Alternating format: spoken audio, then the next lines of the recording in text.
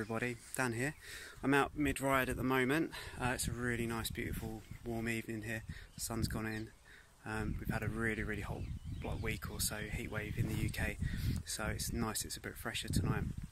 Um, I'd originally planned to do some sort of local stuff tonight. I found a little drop area uh, just close to my house and I thought I'd, I'd spend some time there sessioning some drops this evening but there are some kids there hanging around and I don't want to make a fool of myself so I'll, um, I'll bring that to you another day and you can laugh at me falling off some tiny two foot drop.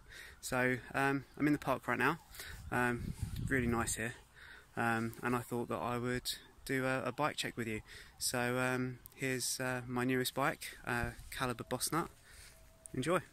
So here it is, the Calibre Bossnut um, which is sold through Go Outdoors, which is a big uh, UK outdoor chain.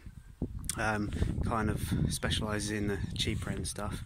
Uh, this bike was, I think, retails at thirteen hundred pounds, um, but then you get a members discount card, and that takes it down to a thousand. And then I, I got a ten percent off voucher as well. So it's a mid-travel uh, trail bike, really. I think it's about 130 at the rear and 140 maybe at the front. Um, pretty standard entry level sort of stuff. So you've got a SRAM um, NX 1x11 um, gear set. Um, these pedals I've put on myself.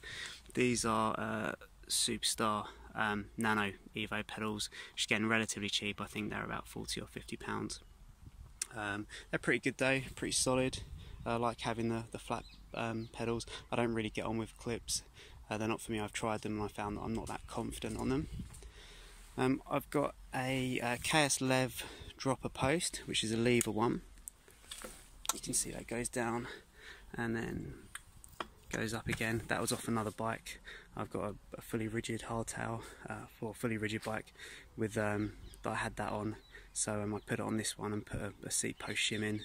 Um, and then I've got some uh, grips here, which are the DMR Death grips. They're really nice. I've had them on another bike as well, and I found that I get on with these pretty well.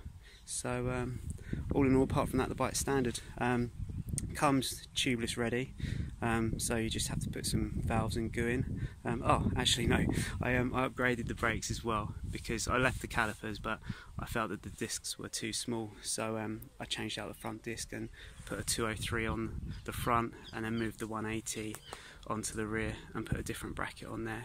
So um, yeah, all in all, I'm really really happy with the bike. So there you go, that's the bike. Really like it. I think for the money it's really good value and if you're just getting into mountain biking and you want your first full suspension bike then I think it's a really really good one to go for. Not a huge amount of money, pretty decent spec. All the um, magazines seem to write it up really well and give it good reviews and compare it to bikes that are sort of you know 50% 100% more expensive so um, I really like it so that's the first in a series of um, my bikes so um, I'll see you out there on the trails take care Thank you.